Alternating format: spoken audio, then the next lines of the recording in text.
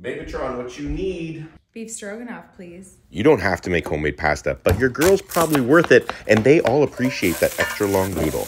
Stroganoff sounds complicated, but really quite simple if you have leftover braised beef. This is a cheek from a few videos ago. We went garlic, shallots, white wine, thyme, mushrooms, and of course sour cream, because that's what makes it a stroganoff.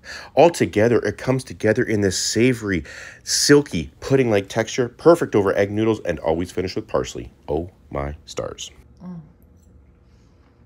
Mm.